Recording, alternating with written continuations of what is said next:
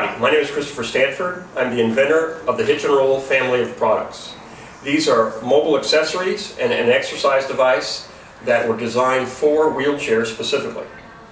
Today I will show you the mechanism that makes it all possible.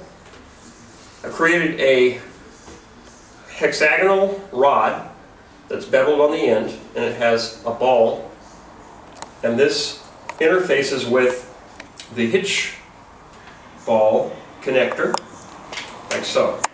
The weight of the device holds it in. I've also created a compatible device for power chair users that fits onto the side rail. Same idea. Fits right in, locks in,